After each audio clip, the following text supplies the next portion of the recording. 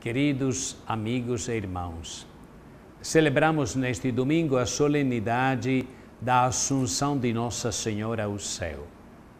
O Evangelho proclamado é a passagem de Lucas, capítulo 1, versículo de 39 a 56. Naqueles dias, Maria partiu apressadamente para a região montanhosa, dirigindo-se a uma cidade de Judá. Ela entrou na casa de Zacarias e saudou Isabel. Quando Isabel viu a saudação de Maria, a criança pulou de alegria em seu ventre. E Isabel ficou repleta do Espírito Santo. Com voz forte, ela exclamou: Bendita és tu entre as mulheres, e bendito o fruto do teu ventre. Como mereço que a mãe do meu Senhor venha me visitar? Logo que a tua saudação ressoou nos meus ouvidos, o menino pulou de alegria no meu ventre. Feliz aquela que acreditou, pois o que lhe foi dito da parte do Senhor será cumprido. Maria então disse: A minha alma engrandece o Senhor e meu espírito se alegra em Deus, meu Salvador, porque Ele olhou para a humildade de sua serva. Todas as gerações de agora em diante me chamarão feliz porque o poderoso fez para mim coisas grandiosas. O seu nome é santo, e sua misericórdia se estende de geração em geração sobre aqueles que o temem. Ele mostrou a força de seu braço, dispersou os que têm planos orgulhosos no coração, derrubou os poderosos de seus tronos e exaltou os humildes encheu de bens os famintos e mandou os ricos de mãos vazias. Acolheu Israel seu servo, lembrando-se de sua misericórdia, conforme prometera a nossos pais, em favor de Abraão e de sua descendência para sempre. Maria ficou três meses com Isabel, depois voltou para sua casa.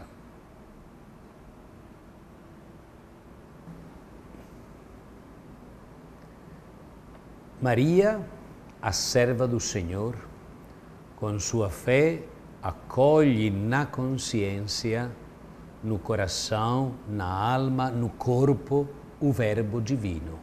Grávida de Deus pela força do Espírito Santo, visitada e visitadora, ela se faz missionária do amor. E proclamando as maravilhas do Senhor, serve com humildade o que Deus começou em Maria na encarnação de seu Filho, culminou na Assunção para que mais plenamente estivesse conforme ao Cristo glorificado. Em união com toda a Igreja, celebramos a Assunção de Nossa Senhora em corpo e alma, à glória do paraíso. A Assunção de Maria mostra-nos o nosso destino como filhos adotivos de Deus e membros do corpo de Cristo.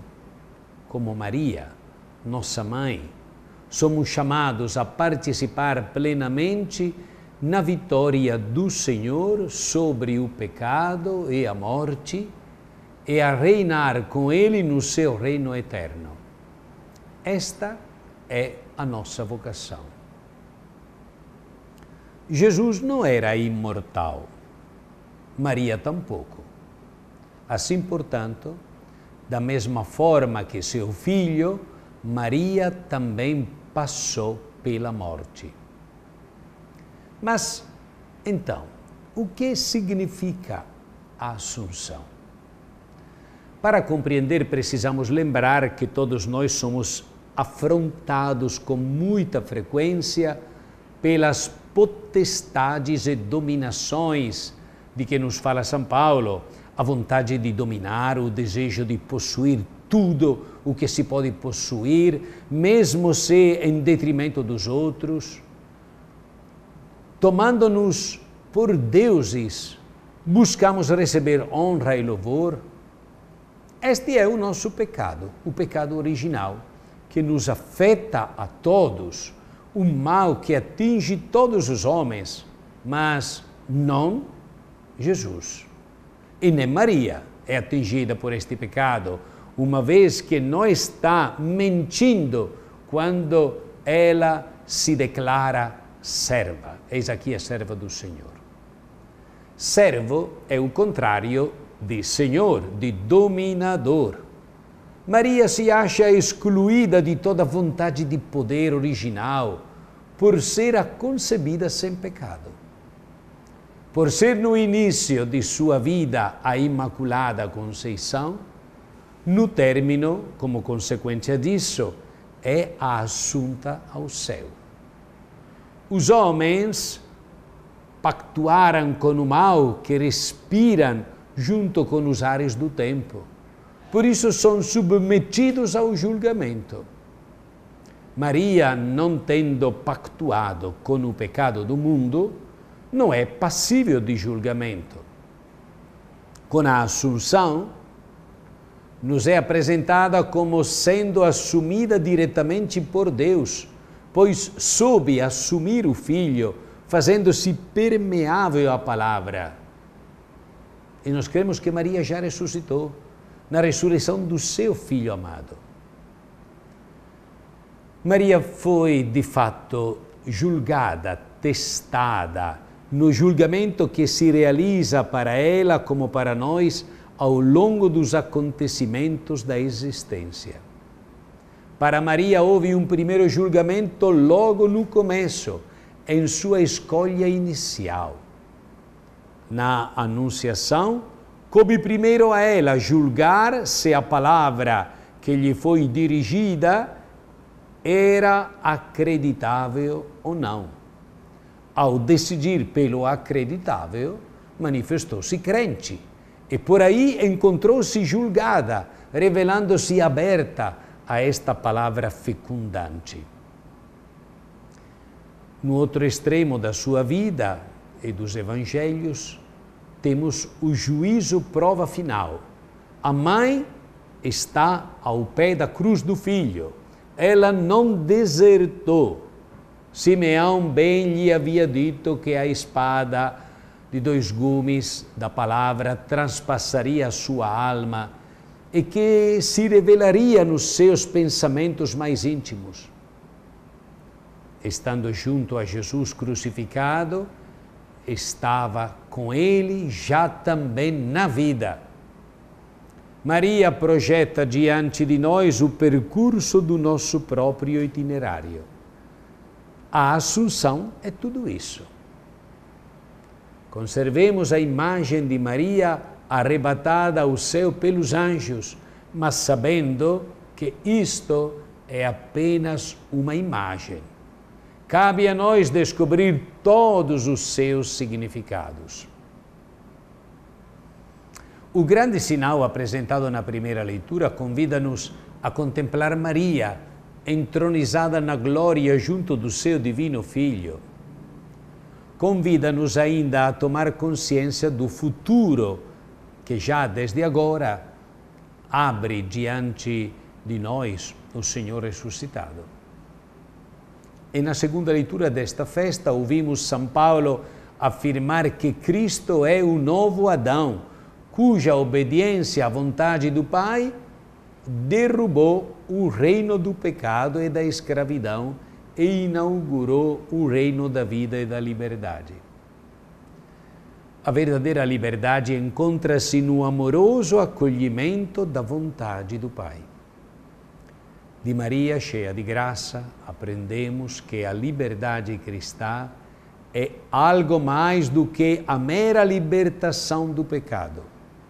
É a liberdade que abre para um novo modo espiritual de considerar as realidades terrenas, a liberdade de amar a Deus e aos nossos irmãos e irmãs com um coração puro e viver na jubilosa esperança da vinda do reino de Cristo. Ao venerar Maria, Rainha do Céu, dirigimos-nos a ela como Mãe da Igreja, para lhe pedir que nos ajude a ser fiéis à liberdade que recebemos no dia do batismo. Que guie os nossos esforços por transformar o mundo segundo o plano de Deus e que torne a Igreja capaz de ser, de uma forma mais plena, fermento do reino de Deus na sociedade. Possamos ser uma força generosa de renovação espiritual em todas as esferas da sociedade. Combater o fascínio do materialismo que sufoca os autênticos valores espirituais e culturais. E também o espírito de desenfreada competição que gera egoísmo e conflitos.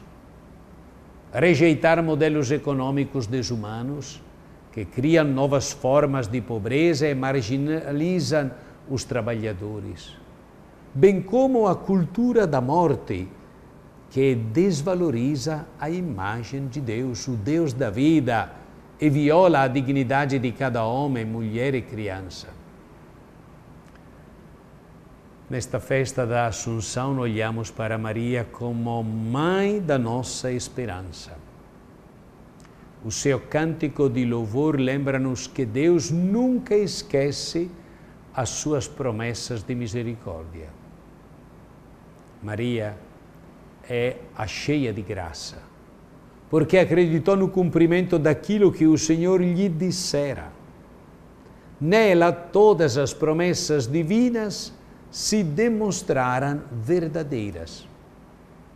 Entronizada na glória, mostra-nos que a nossa esperança é real e que já desde agora esta esperança se estende como uma âncora segura e firme para as nossas vidas, até onde Cristo está sentado na glória.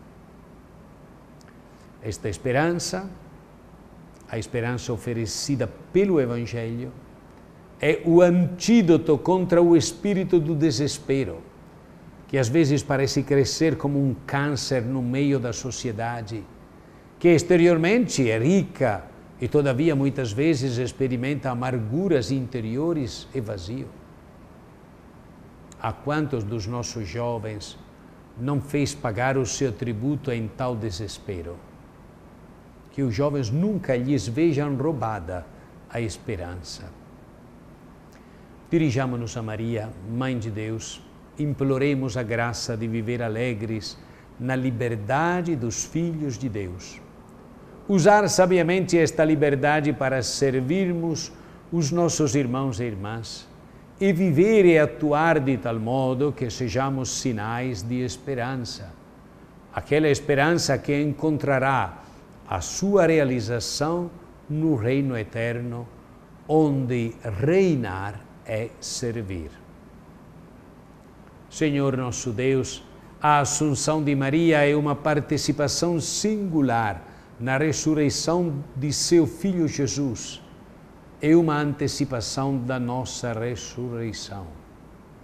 Nela, de modo esplêndido, se realizou o mistério pascal, pois toda cheia de graça quisestes associá-la plenamente à ressurreição gloriosa de Cristo. Ela é a aurora e modelo da Igreja triunfante, consolo e esperança para nós discípulos a caminho. Que ela nos acompanhe nesta travessia da vida, nos dê a graça de alcançá-la no céu. E que Deus abençoe a todos em nome do Pai, e do Filho, e do Espírito Santo.